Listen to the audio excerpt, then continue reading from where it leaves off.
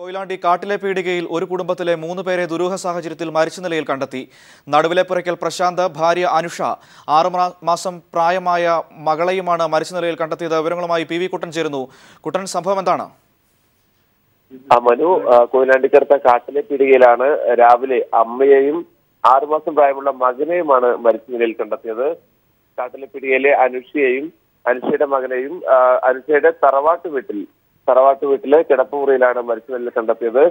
ഇന്നലെ രാത്രിയിൽ ഇവിടെ അനുഷയുടെ ഭർത്താവും ഉണ്ടായിരുന്നു. എന്നാൽ പുലർച്ചയോടുകൂടി ഭർത്താവ് ഇവിടെ നിന്ന് പോയി എന്നാണ് വീട്ടുകാർ പറയുന്നത്. അതിനുശേഷം വാതിൽ തുറക്കാത്തപ്പോൾ നോക്കിയപ്പോഴാണ് അനുഷയെയും അതുപോലെ തന്നെ മകനെയും മുറിയിൽ മരിച്ച നിലയിൽ കണ്ടെത്തിയത്. ഉടൻ തന്നെ വീട്ടുകാർ പോലീസിൽ വിവരം അറിയിക്കുകയും കൊയിലാണ്ടി പോലീസ് സംഭവ സ്ഥലത്തെത്തി അന്വേഷണം ആരംഭിച്ചു. അതിനുശേഷം കൊയിലാണ്ടി പോലീസ് സംഘം കൊയിലാണ്ടിയിലെ പോലീസ് സംഘം അനുഷയുടെ ഭർത്താവായ പ്രശാന്തിന്റെ കോഴിക്കോട് മാങ്കാവിലുള്ള വീട്ടിലേക്ക് എത്തുകയും അവിടെ എത്തിയപ്പോഴാണ് പ്രശാന്ത് മാങ്കാവിലെ വീട്ടിൽ തൂങ്ങി മരിച്ച നിലയിലും കണ്ടെത്തിയത്. പോലീസ് അന്വേഷണം തുടരുകയാണ്.